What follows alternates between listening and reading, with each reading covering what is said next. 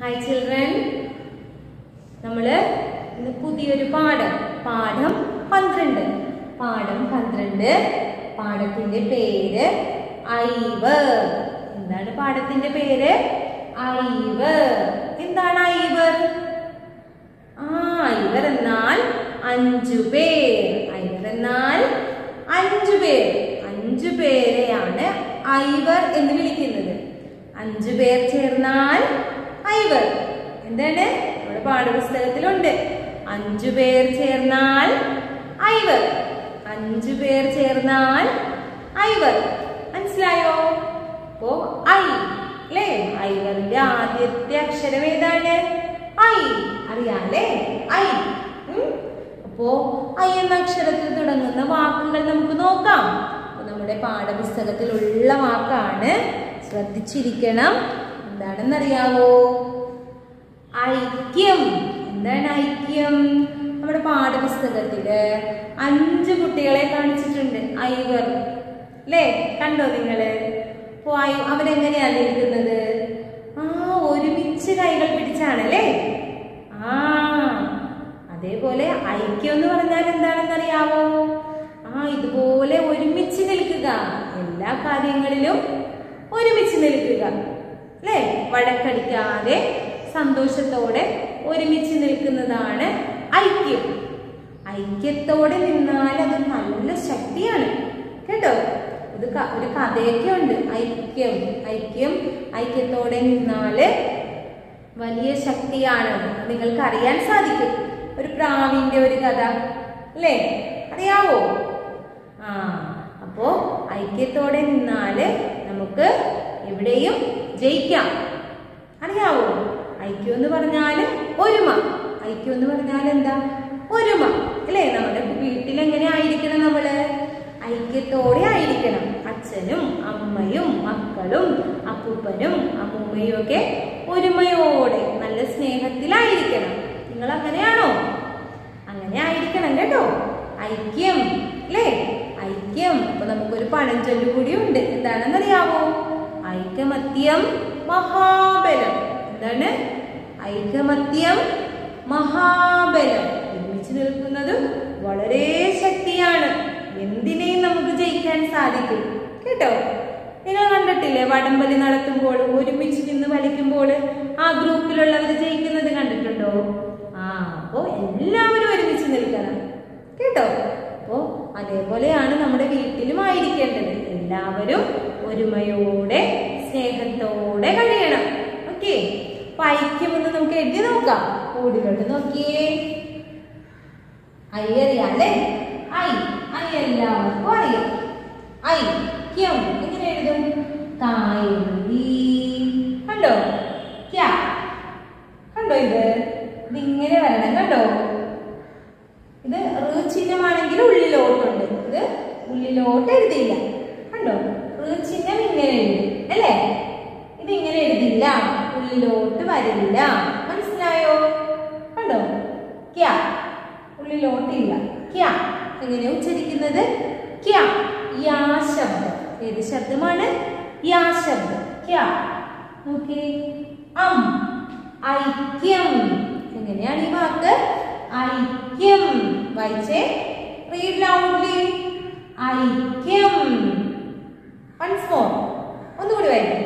ഐക്യം ഓക്കെ ഇനി അടുത്തൊരു വാക്കാണ് നമ്മുടെ പാഠപുസ്തകത്തിലുള്ളത്. എന്താണെന്നറിയാവോ? ആ നിങ്ങൾക്ക് അറിയാം ഇത്. ആ ഐരാവതം. ഐരാവതം. ഒരു ആനയാണല്ലേ ദേവേന്ദ്രന്റെ ആന. ഐരാവതം. ഓക്കെ ഐരാവതം എന്ന് എങ്ങനെ എഴുതുന്നത്? ഐ രാ രാ എഴുതിയിട്ട് രാ വേണം എന്ത് വേണം? ദീർഘം വേണം. വ ഐരാവതം. വായിച്ചേ? ഐരാവതം. ചിലർ ഈ ദീർഘം. ചിഹ്നം മറന്നു പോകും മറന്നു പോകാവോ മറന്നു പോകരുത് എങ്ങനെയാണ്? ഐ രാ വ ചിഹ്നം. ഐ രാ ഐരാവതം. പറഞ്ഞെഴുതിയോ? ഐരാവതം. അല്ലേ? എങ്ങനെയാണ്? ഓക്കെ പറഞ്ഞേ. ഐരാവതം. ഓക്കെ അപ്പൊ നമ്മൾ ഐക്യം ഐരാവതം. വേറൊരു വാക്കുണ്ടല്ലോ. ഐവർ. അല്ലേ? പിന്നെ നിങ്ങൾക്ക് അറിയാം അല്ലേ? ഐസ്. അറിയാം അല്ലേ? ഐസ് ഇഷ്ടമാണ് അല്ലേ? ആ ഓക്കെ. ഇത് നിങ്ങൾക്ക് മനസ്സിലായോ? ഈ വാക്കുകൾ മനസ്സിലായോ? അങ്ങനെയാണെങ്കിൽ ഇനി ചിഹ്നം നോക്കി. ഐ എന്ന അക്ഷരത്തിന്റെ ഐ എന്ന അക്ഷരത്തിന്റെ ചിഹ്നം എങ്ങനെയാണ്? പറയാമോ ആ ഇത് എളുപ്പമാണ്. നോക്കിയേ. ഇത് കണ്ടോ? ഇത് വേണം. ഐയുടെ ഈ ചിഹ്നം വേണം. പിന്നെ എ എന്ന അക്ഷരത്തിന്റെ ചിഹ്നം. കണ്ടോ? ഇത് രണ്ട് പ്രാവശ്യം എഴുതണം. ഇതാണ് ചിഹ്നം. ഐ ഇതെങ്ങനെയാ വായിക്കുന്നത്? ഐ ഐ എന്ന് തന്നെയാ വായിക്കുന്നത്. കണ്ടോ? ഐ എങ്ങനെയാ വായിക്കുന്നത്? ഐ അല്ലേ? അപ്പോ ക അധികം ക പ്ലസ് ഐ ആണെങ്കിൽ എങ്ങനെ വായിക്കും? കായുടെ കൂടെ. കൈ എങ്ങനെയാണ്? കണ്ടോ? എങ്ങനെയാണ് എഴുതുന്നത്? കണ്ടോ? കൈ. കായുടെ ഇടതുവശത്ത് എഴുതണം. അക്ഷരത്തിന്റെ ഇടതുവശത്ത് ചിഹ്നം ചേർക്കണം. നമ്മൾ പറഞ്ഞല്ലേ? എയുടെ ചിഹ്നം അക്ഷരത്തിന്റെ ഇടതുവശത്താണ്. എയുടെ ചിഹ്നവും അക്ഷരത്തിന്റെ ഇടതുവശത്താണ്. ഐയുടെ ചിഹ്നം അക്ഷരത്തിന്റെ ഇടതുവശത്താണ്. മനസ്സിലായോ? അല്ലേ? ആ ചിഹ്നങ്ങൾ ഏതൊക്കെയായിരുന്നു കണ്ടോ? കെ എഴുതുമ്പോൾ ഇങ്ങനെ. കെ എഴുതുമ്പോഴും അക്ഷരത്തിന്റെ ഇടതുവശത്ത്. ഇപ്പൊ കൈ എഴുതിയപ്പോഴും ഇങ്ങനെയാണ്. അക്ഷരത്തിന്റെ ഇടതുവശത്ത്. അല്ലോ അക്ഷരത്തിന്റെ ഇടതുവശത്ത്. മാറിപ്പോകൂ അപ്പൊ ഇത് മനസ്സിലായോ? ഇതെങ്ങനെയാ ഉച്ചരിക്കുന്നത്? കൈ. അങ്ങനെയാണെങ്കിൽ ചായയുടെ കൂടെ ആണെങ്കിലോ പറയാമോ ആ ചൈ. എങ്ങനെയാണ്? എഴുതുന്നത് എങ്ങനെയാണ്? ചൈ. കണ്ടോ? ഐ ചിഹ്നവും ചായും ചൈ. ഇനി ഡായുടെ ഡ. പ്ലസ് ഐ ആണെങ്കിൽ ഡൈ. എങ്ങനെയാണ് കണ്ടോ? ഡൈ. അല്ലേ?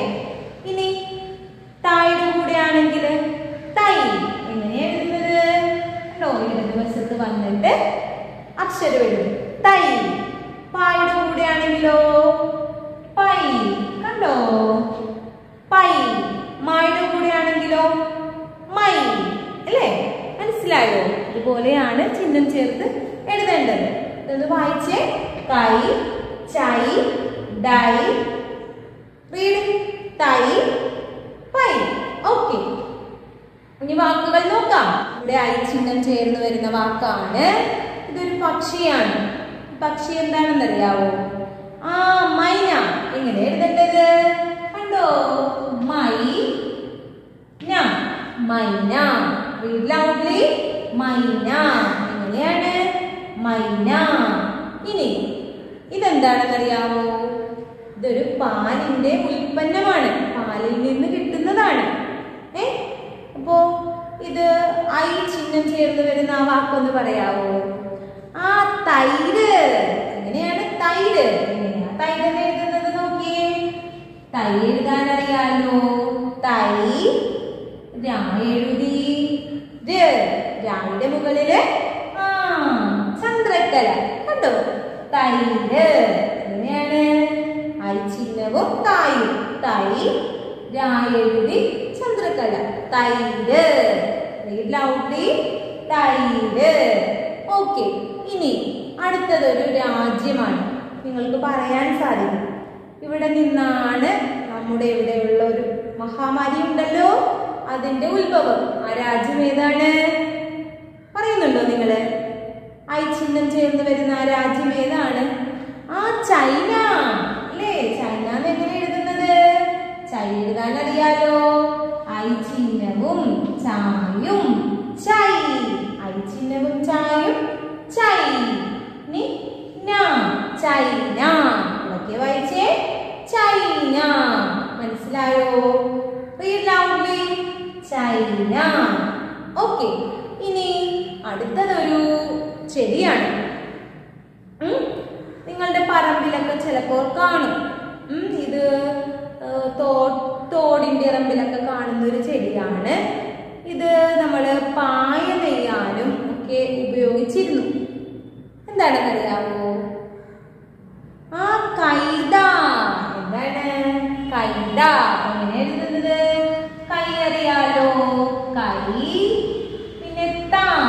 കൈത പറഞ്ഞേ റീഡ് ഔട്ട് കൈത കൈത കൈതച്ചെടി. കണ്ടോ കൈതച്ചെടി? കൈത. മനസ്സിലായോ? കൈത. ലൗഡ്ലി കൈത. അങ്ങനെയാണെങ്കിൽ ഇനി വേറൊരു വാക്കാണ് നമ്മുടെ പാഠപുസ്തകത്തിലുള്ളതാണ് നിങ്ങളിത് പറയണം. ഇത് നമ്മൾ ഏ കയ്യിലൊക്കെ ഇങ്ങനെ ഡിസൈനായിട്ട് ഇടാറുണ്ട്. ഇതിന്റെ ഒരു ചെടിയുണ്ട്. ആ ചെടിയുടെ ഇല ആ അരച്ചെടുത്താണ് കയ്യിലൊക്കെ നമ്മൾ ചില വിവാഹ അവസരങ്ങളിലൊക്കെ ഇങ്ങനെ ഇടാറുണ്ട്. പെൺകുട്ടികൾ ഇടാറുണ്ട്. മനസ്സിലായോ? എന്താണ്? ആ മൈലാഞ്ചി. എന്താണ്? മൈലാഞ്ചി. മൈലാഞ്ചി. എങ്ങനെ എഴുതുന്നത്? പറയാവോ? മൈ. എഴുതി നോക്കാവോ നിങ്ങൾക്ക് നോക്കിയേ എഴുതി നോക്കിയേ മൈ കണ്ടോ മൈ പിന്നെ ലാ ലാ എഴുതണം പിന്നെ ലാഞ്ചി ലാ ലായ്ക്ക് ദീർഘം വേണമല്ലോ പിന്നെ ഏതക്ഷരമാണ് ആ ജ ജ എഴുതണം. ജ എങ്ങനെ എഴുതേണ്ടത്? അറിയാല്ലേ? ജ കൂട്ടക്ഷരം. ജ ഇഞ്ചി വഞ്ചി. പഠിച്ചിട്ടില്ലേ ജ മറന്നുപോയോ ജ ജ ജായ്ക്ക് എന്ത് വേണം? വള്ളി വേണം ജി മൈലാഞ്ചി. കിട്ടിയോ? റീഡ് ലൗഡ്ലി മൈലാഞ്ചി. അല്ലേ? മൈ എഴുതി ലാ എഴുതി ലായ്ക്ക് ദീർഘം വേണം. ജ ജ പഠിച്ചിട്ടുണ്ട്. ഈ ചിഹ്നം വള്ളിയല്ല മൈലാഞ്ചി. കിട്ടിയോ? വാക്കുകൾ കിട്ടിയല്ലോ? വായിച്ചല്ലോ? ഒന്നുകൂടി ഒന്ന് വായിച്ചേ. മൈന തൈര് ചൈന കൈത മൈലാഞ്ചി. ഓക്കെ. അപ്പൊ നമ്മുടെ പാഠപുസ്തകത്തിൽ ഇങ്ങനെ ഫില്ല് ചെയ്യാനും ഉണ്ട് പൂരിപ്പിക്കാം എന്നും ഉണ്ട് അത് നിങ്ങൾ പൂരിപ്പിക്കണം കേട്ടോ. കഴിഞ്ഞ പാഠങ്ങളിലും ഉണ്ട്. നിങ്ങൾ പൂരിപ്പിക്കുന്നുണ്ടല്ലോ. അപ്പൊ ഇത് നിങ്ങൾ പാഠപുസ്തകം എടുത്ത് എഴുതണം. ഓക്കെ? അപ്പോ നന്നായിട്ട് വായിക്കുക. പറഞ്ഞുകൊണ്ട് എഴുതി പഠിക്കുക.